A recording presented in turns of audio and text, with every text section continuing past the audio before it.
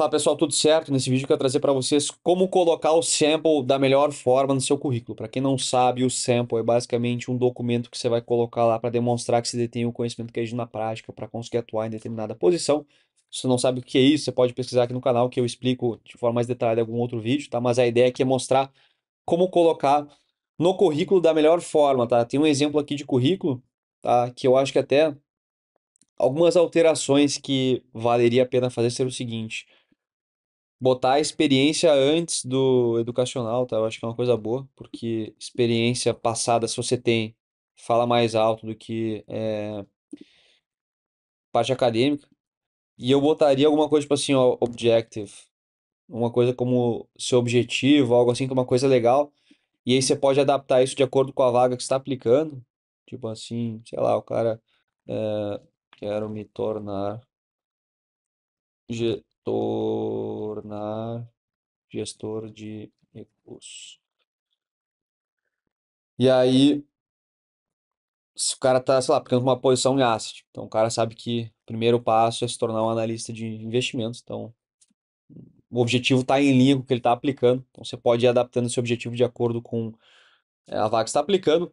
Se a chamada da vaga está em inglês, currículo todo em inglês. Se a chamada da vaga está em português, currículo todo em português. Uma página, tem outros conteúdos meus sobre também aqui currículo. Não é objetivo aqui de ensinar a fazer currículo, mas lembrando os principais pontos, uma página direto ao ponto, menos é mais, tá?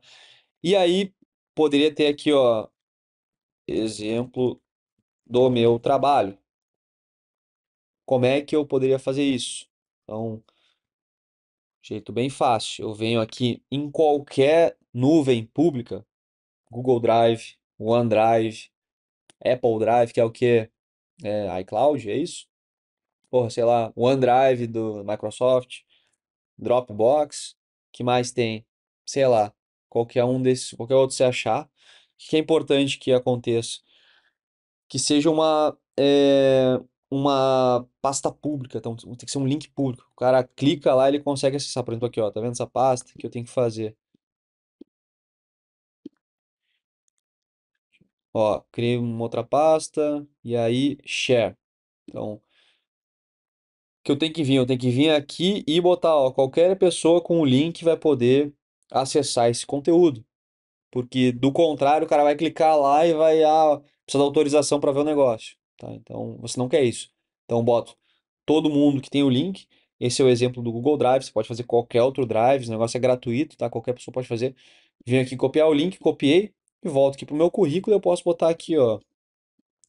Dois jeitos, ou eu boto assim, que é ruim, tá? Então, não bota assim, na verdade. Vou ensinar um jeito melhor, que é clique aqui. Eu venho aqui, e aí eu vou clicar com o direito em cima, e aqui, ó, hiperlink. Web page address, tá aqui o negócio, ok. Clique aqui, ó. O negócio ficou massa. E aí você testa para clicar, tem que abrir esse negócio. E o cara cai direto lá na, na pasta que você consegue acessar o seu trabalho. Dica boa.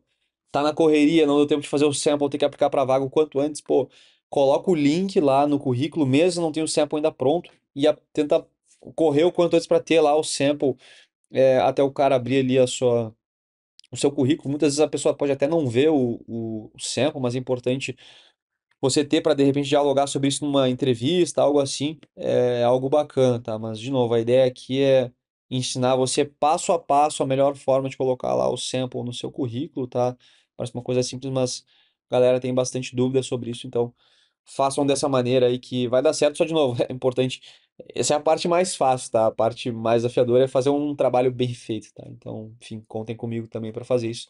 Tem muito conteúdo meu sobre isso, então não adianta estar tá lá o, ter todos os links possíveis e o, trabalho ser ruim. Então, se atentem para isso, beleza, pessoal? Se gostaram do vídeo, não esquece de curtir o vídeo, deixa um comentário, segue aqui o canal é, para ajudar a, a, essa mensagem chegar a mais pessoas, tá bom? Um abraço e até a próxima.